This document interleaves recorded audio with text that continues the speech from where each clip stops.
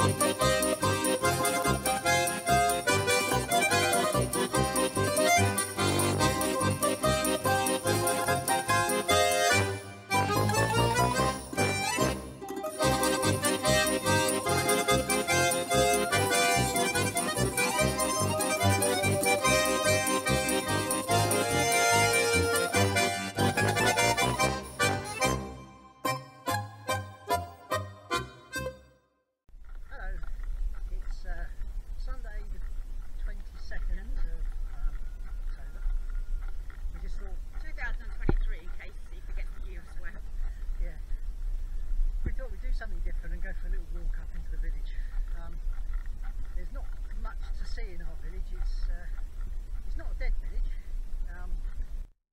so the sound quality on the GoPro um, just hasn't turned out to be very good.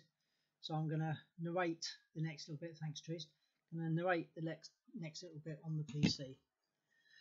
So we're essentially walking up from our house into the village. Um, it's quite a small village. The population at its height was about 650 people.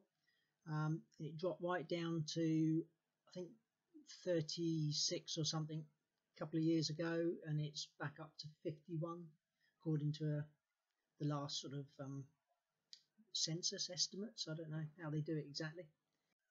So I've sped the video up a little bit just so that we, we're not going at walking pace. This is just double timed. Um, that track goes off to the right, goes off around to the other side of the village, which is on the other side of the valley. Um, and this is walking up into the centre part of uh, the village itself. Um, it's quite a pretty little village. Um, there's quite a lot of houses being uh, restored, um, and gardens and th things kept nicely.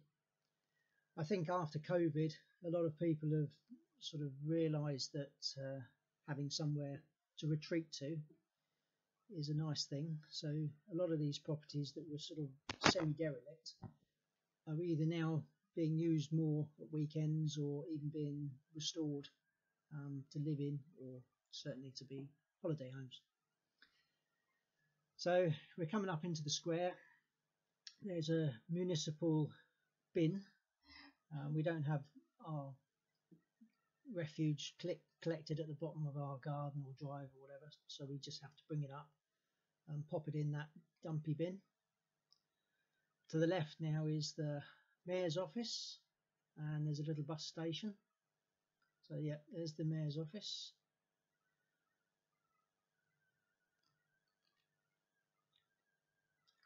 And the bus station and I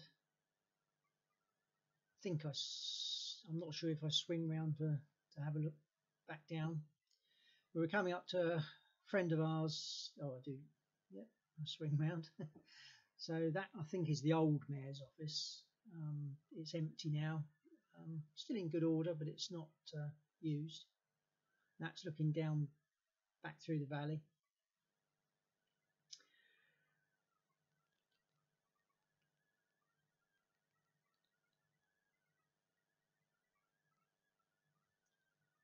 And the house up here on the left is a friend of ours. He um, he's one of the few English speakers in the village, and he makes honey um, and, has, and has eggs, so we get a little bit of produce off of him. He's doing some repair works on his uh, cellar floor at the moment, hence the materials outside his house.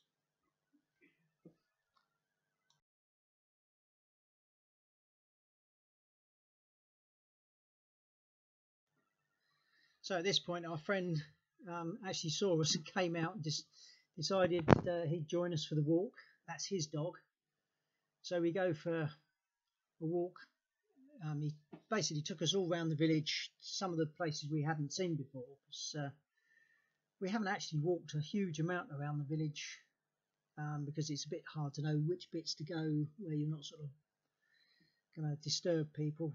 What are good walks? So he, he decided to come along and show us sort of how to get up into the hills and various other bits.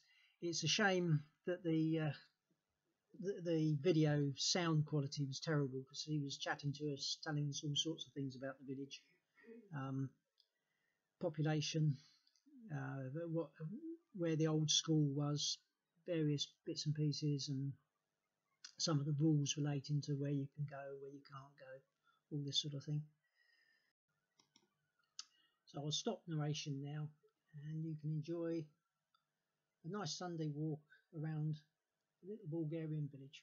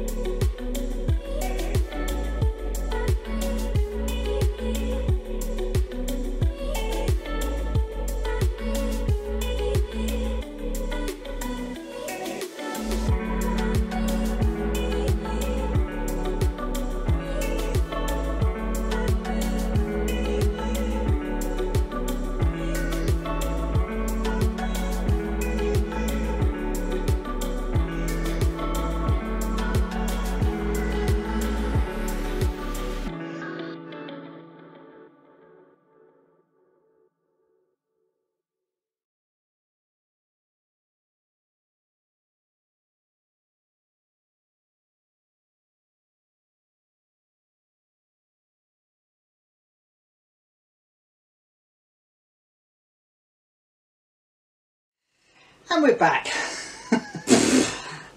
it turned out to be a rather extended walk. Um, We, We met did- our neighbour.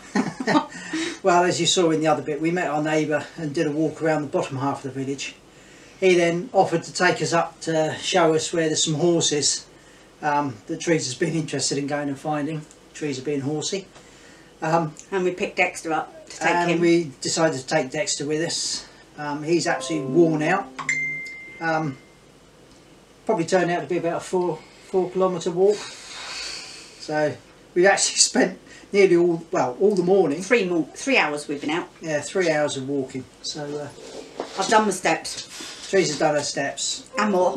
Yeah, I've qualified Oh, are you to be still allowed to have a beer. tired? Are you tired? And it's Sunday. So. Ugh. Anyway. uh, other things this this in the last couple of weeks. We went down to um, what was the name of the village? Os Oroshet. Oroshet's uh, near Haskovo on the border with Greece and Turkey. Um, I'm very border. yeah, not far from the border at all. Um, actually, the village was no, no, no. The village was Oroshet's, wasn't it? Yeah. Um, near Harmanli, which is near Haskovo, in the south of Bulgaria. And that was a long drive. Yeah, it was a good. Uh, Seven hours. yeah, well, it's supposed to be five and a half hours, but um, the, some of the Bulgarian roads we ended up going along, you couldn't drive any speed at all, so it, it ended up being nearly seven hours. That little Mario Kart. Yeah, Yeah, trying to dodge all the, well, not I wouldn't say potholes, sort of bits where there was no road Yeah. onto little bits of track, and then back onto a bit of road. Yeah, terrible. Um, I keep saying to people, oh, the roads in Bulgaria aren't bad at all, but I think we've been spoilt up, up in our area of Bulgaria, and the big motorways that we've been on have all been very good. But when you get down south, they're terrible. so we would, anyway, we would we were down there um, trying to put a, or we're going to be putting a Rayburn in for somebody. Um, so the Hi Neil. yeah, hi Neil. Um, so the first visit was just putting in uh, plinth and gathering materials and really sort of sussing out the job.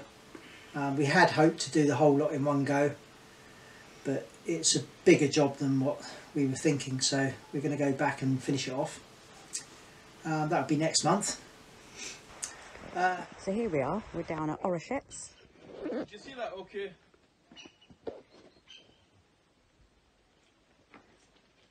Shine the light.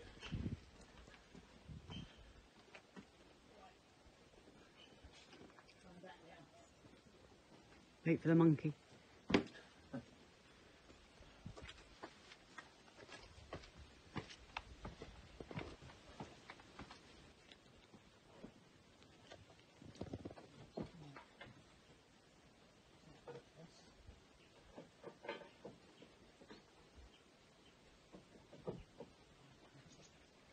Right, coming down.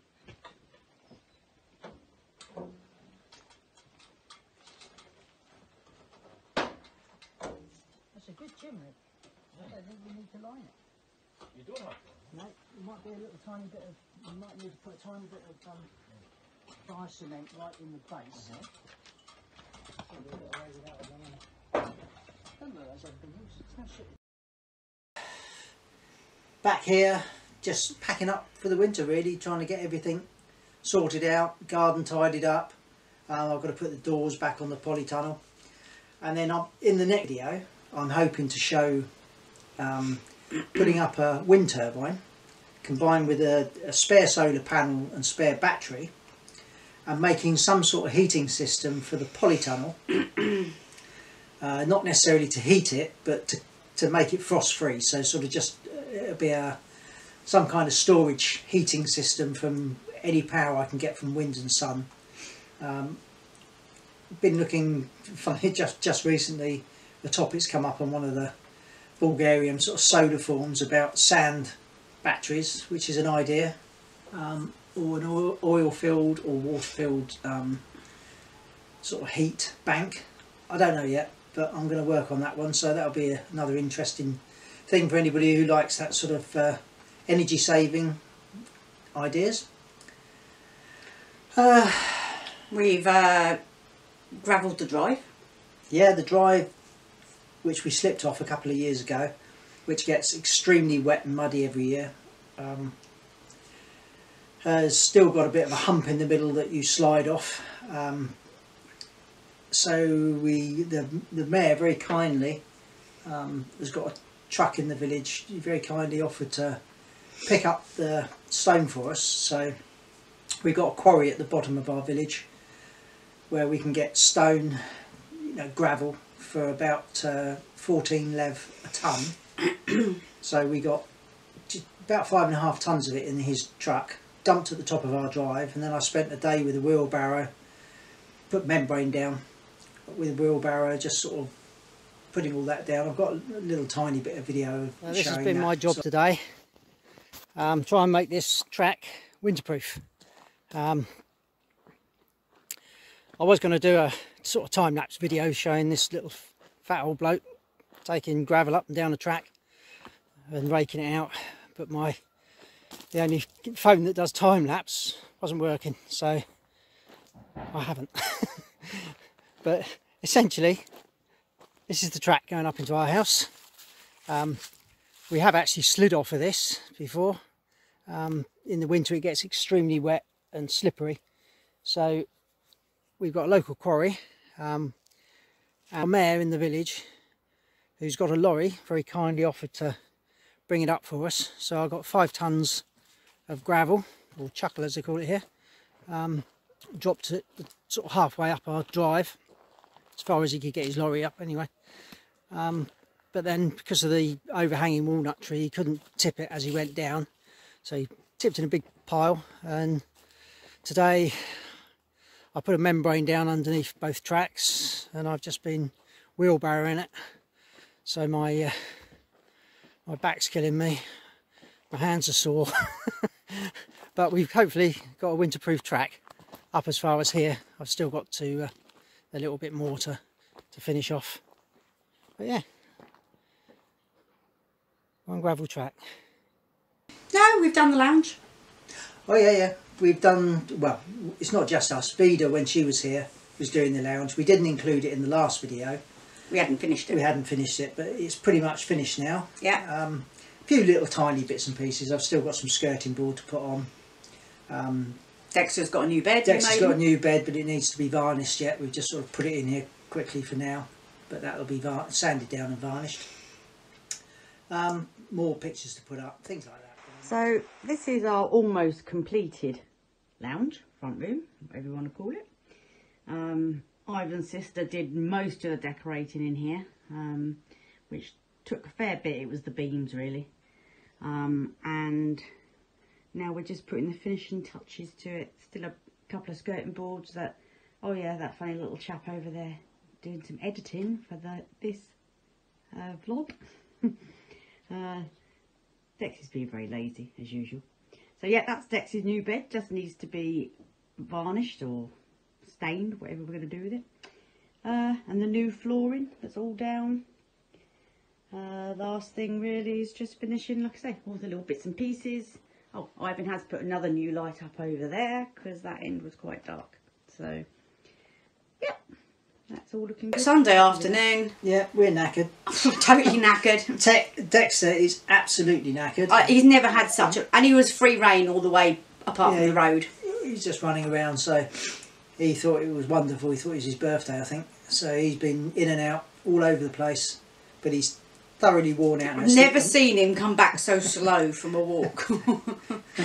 he literally got in here went straight to his water bowl had a good old slurp of water came in here and just plonk, Collapsed.